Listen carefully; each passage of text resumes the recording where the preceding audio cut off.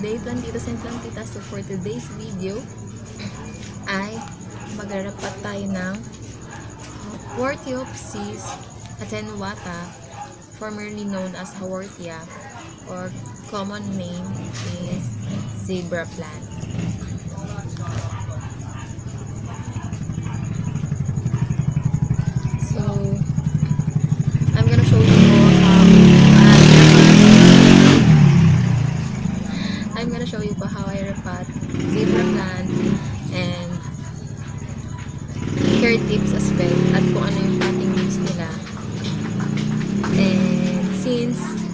Isang video na lang gagawin ko kasi hindi na po natin siya i-air dry. Yes po, um, I know na sabi, ah, alam natin na ini-air dry dapat lahat ng succulents. Pero, dito po sa Zebra, marami pong nagsabi ng mga mentor na hindi na din daw po kinakailangan na i-air dry po. Basta, as long as hindi lang po din natin mag-damage yung roots. So, i-uproot na po na muna natin. This succulent is great for your indoor succulent garden. It has thick, dark green leaves with white horizontal stripes on the outside of the leaves. The inside of the leaves are smooth. Zebra plant is a common household succulent. It's perfect for beginners because it grows well indoors when taken care of properly. It also propagates easily which makes it perfect for arrangements or gifts. It has typical watering needs for a succulent. It's best to use the soak and dry method and allow the soil to dry out completely between waterings. Zebra plant is not cold hardy. So if you live in a zone that gets colder than 30 degree Fahrenheit or negative 0.1 degree Celsius, it's best to plant this succulent in a container that can be brought indoors. It does best partial sun. Plant in an area of your garden that gets 4 to 6 hours of sunlight in the morning. If given more sunlight, it will turn a deep red color showing it is stressed. Too much sun will cause it to turn white and dry up. If grown indoors, place in a window that gets plenty of sun. When grown outdoors, Haworthia flowers in the fall. It has small white or pink flowers that grow on tall, thin stem. Haworthia or zebra plant is easily propagated through offsets. Offsets, zebra plant will produce a small offsets sprouting up around the base of the plant. Simply pull these up and allow the offsets to dry for 1 to 2 days before replanting in a well-draining soil. So, commonly mistaken for Haworthia atten- attenuata or and between um, Haworthia The difference between the two are subtle but there's an easy way to tell. The inner leaves of Haworthia fasciata zebra plant are smooth, where Haworthia attenuata has bumpier leaves, or zebra plant also has fatter leaves than Haworthia attenuata. It is also commonly mistaken for aloe, which can also be dark to bright green, which with chubby tapered leaves. Zebra plants are native to South Africa. These clump-forming succulents have similarities with aloes, and they are related to the same subfamily. In their natural habitat, zebra plants receive plenty of sun and periods without rainfall. rainfall. Their succulent nature enables them to store water within the thick leaves when there is no frequent rainfall. Primarily, they are grown in gardens, however, they are also grown in greenhouses, conservatories, and homes. For folia- foliage, the zebra plants form a rosette of leaves. These leaves are very thick and patterned with white zebra-like stripes or tubercles that look like warts. They are a clump-forming plant in the wild, so they can be grown in several or as many as you like in one container. These succulents prefer temperatures between 65 to 80 degree Fahrenheit or 8 to 26 degrees Celsius. Display zebra plants anywhere they receive. They can receive plenty of sunlight or bright light. South-facing windows will provide the most sun. So for watering during the growing season, water the zebra plants thoroughly and then water when the soil becomes dry to the touch. Use a potting mix for succulents that drains wells and provides plenty of air to the small roots. If making your own mix or buying another type, use part potting soil, part perlite, and part sand. Normal humidity, room humidity will suffice for repotting once the zebra plant outgrows the pot. You can repot during spring, only move to a slightly bigger pot. Zebra plants produce pups or offsets that can be removed from the mother plant and replanted. Water the soil once and wait and then wait to see a small sign of new growth to prevent killing them with overwatering. So now I'm going to prepare my DIY soil potting mix for my zebra plant or Haworthia trophisciata. Sa potting mix po as 10 well drained. So, already put lava rock as beddings and then rice hull.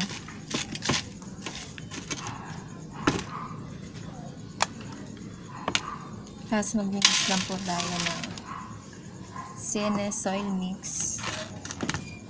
And then I'll add perlite.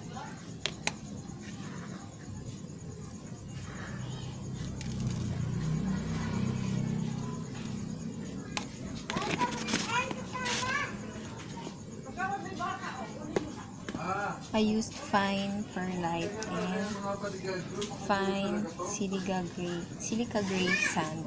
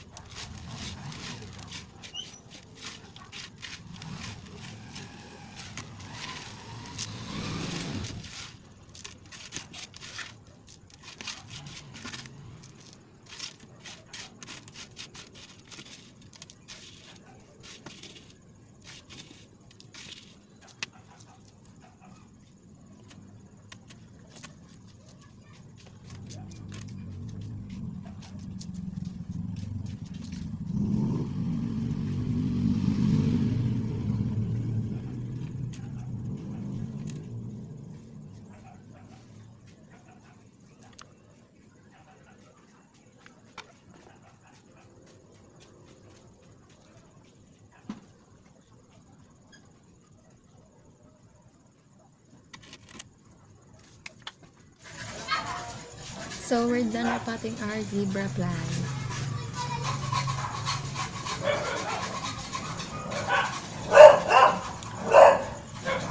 So, for propagation po, as said, magkakaroon siya ng offset dyan, ng pops. And kapag mga, ma- kasing laki na siya halos nito, hindi naman kailangan ganito kalaki po, pero at least ma regular token size na po. Pwede na po natin i-remove lang yun. I-remove lang po natin siya parang pag-remove ng leaves. Kasi pwede rin po tayo mag-propagate ng leaves. Through leaves, remove lang po natin siya na make sure na hindi masisira yung dulo ng leaves doon. And then, ilagay lang po natin sa isang pot with CNS soil mix. And, wag lang po natin silang babasain masyado. So, kung nakikita nyo sa background ko, sa tabi ko, meron akong black wings and bush type succulents. Bala ko po kasi sana i-vlog to. Kasi, natuwa ako na yung mga pinopagate ko na nilipat ko sa seedling bag. Di ko man, di ko lang pinapansin pero nag-grow na siya, ang laki niya na. So, nagbabalak ako na i-vlog ko yung pagrepat nito. Tapos, may bush type, may additional bush type succulents collections po ako. Pa-ID naman po nito kung alam niya. Cute lang. I know parang something na grape jelly bean. Ang cute yan. Nakakatuwa. Ito, three heads na. Tapos ito, two heads. At yung isa, yung ginamit kong propagation leaf, intact pa din. Tapos ang healthy-healthy niya na.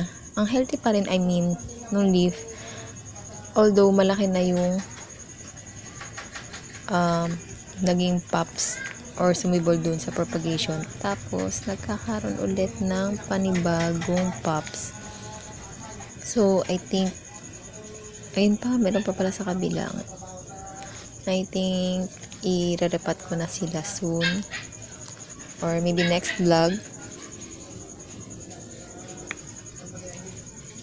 Tapos, ito po yung additional succulent or bush type succulent additional sa collections ko. Kung ma-ID nyo po, go please. Comment down below. Ito pa. So, dalawa yung bago ko. Hindi ko pa rin alam ID nito. Tapos, ayan. From ano lang to. Um, natanggal ko lang siya sa mga polybag. Tinay ko itusok. Ayan, tumubo naman. Ito, tornado. So, ayan po. Ang ating zebra plant or Haworthiopsis attenuata, formerly known as Haworthia. Ito nga pala yung isa pang bush type succulent sa collection ko. Pa-ID na lang po kung alam nyo. More on brown red ang color niya ganito.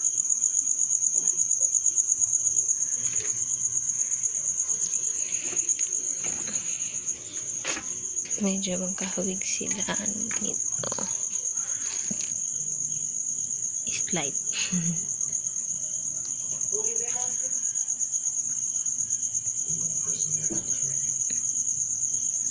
So, baka po alam niyo yung ID.